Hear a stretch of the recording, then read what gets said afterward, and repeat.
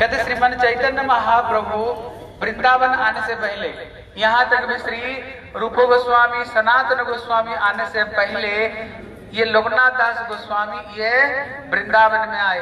कहते, ये इतने बड़े संत महापुरुष थे, इन्होंने प्रतिज्ञा की थी, मैं कभी ज़िंदगी में शिष्य नहीं बनाऊँगा।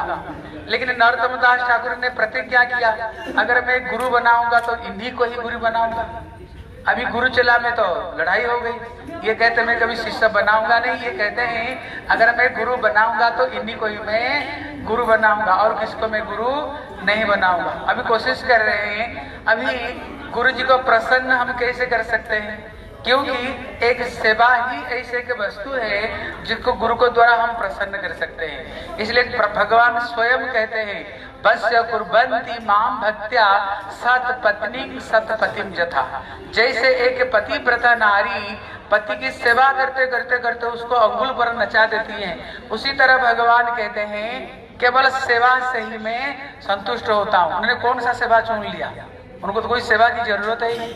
क्योंकि माधु कर करके लाए और प्रसाद पाए और 24 घंटा में 24 घंटा, हरे कृष्ण हरे कृष्ण कृष्ण कृष्ण, हरे हरे हरे राम हरे राम राम राम। 24 घंटा में 24 घंटा हरिनाम करते थे। अभी उन्होंने सेवा ढूंढ लिया, बोले क्या सेवा करेंगे? बोले जहाँ पर ये शौच क्रिया करने जाते हैं, मैं वो स्थान को साफ़ कर सकता हूँ। उन्होंने गुरु जी की सेवा के लिए उनको शौच क्रिया जहाँ जाते थे, कोई घृणा नहीं। उनकी शौच क्रिया स्थान को रोज साफ़ सुथरा करके लिपा पता लगा लेते थे। अभी उन्होंने देखा, भैया, ये कौन मेरा सेवा कर रहा है? रोज शौच क्रिया के लिए जाता हूँ, दूसरे दिन तो स्थान पूरा के पूरा निर्मल पवित्र है। वो समझ गए, कोई मेरे को अपराधी तो नहीं बना रहा है? क्योंकि जब जिसकी सेवा ग्रहण करो ना मेरे कुछ देना पड़ता है। उनको कुछ देना पड़ता है। इसलिए उन्होंने देखा, छुप करके ये नरोत्तम दास ठाकुर, जो राजा की बेटा हाँ राजा घर की बेटा, ये मेरे शौच क्रिया को साफ़ कर रहा है। उन्होंने इनकी सेवा को देख करके रीझ गए। रीझ करके फिर उन्होंने मंत्र प्रदान किया। ये संत ऐसे भजनानंदी महापुरुष श्री लोकनाथ दास गोस्वामी थे। कहते जब ये रहते थे, कहाँ पर? छत्रवन में, जहाँ पर उमराव गाँव छत्रवन जहाँ पर खैरा। हम लोग जाएँगे परिक्रमा में तीन चार दिन बाद में वहाँ पर हम जाएँगे खेरा में जाएँगे। वहीं पर ये रहते थे। वहाँ पर एक कुंड था जिसका नाम था किश्वरी कुंड। कुंड का नाम क्या था? किश्वरी कुंड। रोज ये किश्वरी कुंड में स्नान करते थे। एक दिन जब उसमें स्नान किए गोता लगाए कि जो ठाकुर दर्शन कर रहे हो अपने आप इनको हाथों में ये ठाकुर जी आए। जब ये ठाकुर जी इनको हाथों में आए, ये ठाकुर जी उनको साथ में साक्षात बात करते थे, क्योंकि ये कृष्ण लीला में कहती, ये कौन है? कहती, ये मंजू लाली सखी राधा रानी की एक नित्य सहचरी श्री लोकनाथ दास गोस्वामी। इसलिए उनकी भक्ति, इतने भक्ति थी कि जो राधा, विनोद जी इनको साथ में बात करते थे। जब उनको विग्रह जी को उन्होंने स्थापन किया प्रतिष्ठित किया अभी ठाकुर जी बात कर रहे हैं बोले मैं बड़े दिनों से ये कुंड में पड़ा हुआ था तेरे राह देख रहा था तुम कब कब आकर के मेरे सेवा प्रकाश करोगे? मेरे बड़े दिनों से मैंने भोजन नहीं किया मेरे लिए कुछ भोजन बनाओ। तब उन्होंने कुछ भोजन बनाए। जब उन्होंने खाना खाने खिलाने के लिए गए बोले बगर चाटने के स्वाद आता है, है? थोड़ी देर कोई चटपट चीज़ होनी चाहिए ना? तो उन्होंने वो संत त्यागी वो कहाँ से लाएँगे? इमली पत्ते साहब उन्होंने उन्होंने चाटनी बनाया। ठाकुर जी को खिलाया, ठाकुर जी खा ली बोले, बड़े दिन से मैं ठीक से सोया नहीं। मेरे लिए थोड़ी सी सोने की व्यवस्था करो। उनके लिए उन्होंने बड़े सुंदर फूलों की उन्होंने सज्जा बनाई। ठाकुर को जब सहने गया ना, बोले, गर्मी गर्मी लग रहा है, ऐसे थोड़ी सो सकता हूँ, थोड़ा तो पंखा तो झुलाओ।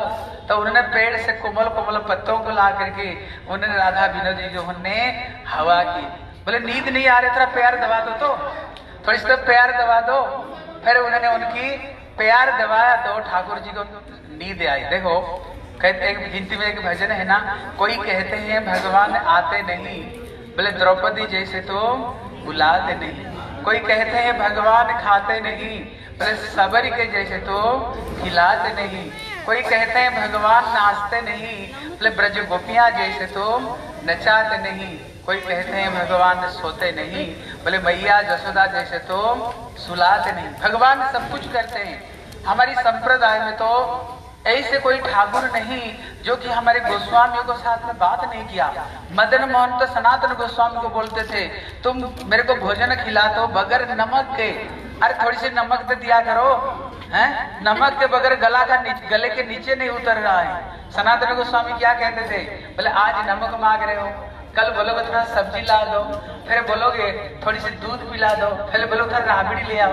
नंद बाबा का घर में न ला के धेनु थी, लेकिन तब भी तेरा पेट नहीं भरता था, तू घर में चोरी चोरी करके खाता था। भैया, खाना हो तो तुम अपनी आप व्यवस्था कर दो, अपनी आप तुम व्यवस्था कर दो। इसलिए हमारे संप्रदाय में इतने प्रमाण हैं। अभी जो गोविंद देव का दर्शन करके आए, हम बाद में इनकी कथा सुनेंगे। गोविंद देव कैसे साक्षात इनको आ करके बोले, मैं यहाँ पर हूँ, है, यहीं पर पड़ा हुआ हूँ, यहाँ से तुम निकालो। श्री माधवेंद्रपुरी है माधवेंद्रपुरी को ठाकुर जी स्वयं दूध पिला करके गए, है, जब दूध पिला करके गए उन्होंने जीवन में बहुत दूध पिए, लेकिन जब ठाकुर जी स्वयं जिसको दूध दिए समझो कितने उसमें स्वाद मीठा नहीं होगा। जब उन्होंने दूध को पिए, उनको रोम रोम खिल उठा। जब उनकी थोड़ी सी झपकी आई, देखा वही बाल गोपाल फिर दो बार आते ही, बोले, माधवेंद्र, बड़े दिन से तेरे में राह देख रहा था। कवे, माधवेंद्र, आशी करीवा सेवन। तुम आ गए हो, देखो मेरे को वज्रनाभ के द्वारा मैं प्रतिष्ठित विग्रह हूँ।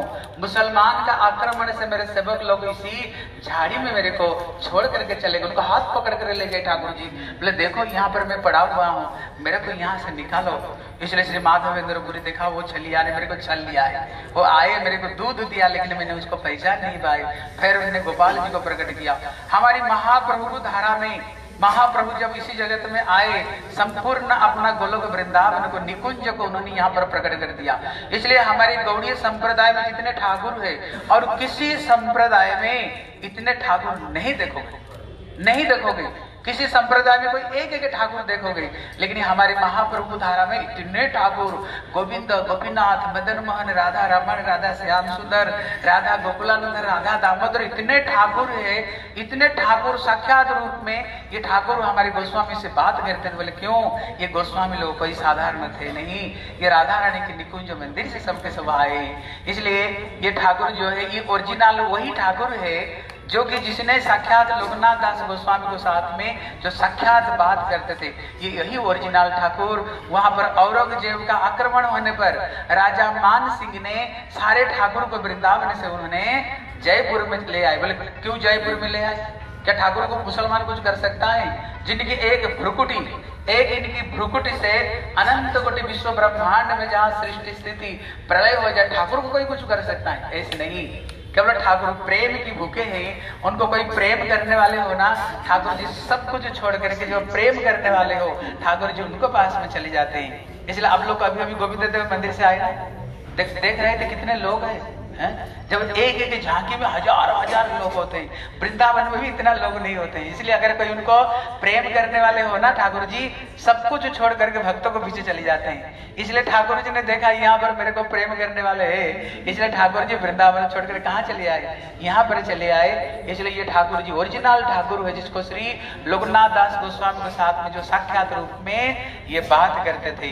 बोले, श्री राधा विनोद लाल की। बोले, श्री लोकनाथ दास गोस्वामी की जी। अभी जल्दी जल्दी चलो पाँच मिनट में राधा दामोदर मंदिर बंद हो जाएगा। हाँ? क्या क्या? एक पानी ले लिया। हाँ आप लोग आप लोग सभी यहाँ पर कुछ कुछ ना नियम है। हर मंदिर में कुछ कुछ प्रणामी देनी चाहिए। इसलिए आप लोग सभी कुछ ना कुछ ना यहाँ प्रणामी करा सकते हैं। सबके सब दिया सबके सब। कुछ ना कुछ प्रणामी देनी चाहिए हर मंदिर में। सब कुछ प्रणामी बोले राधा लाल की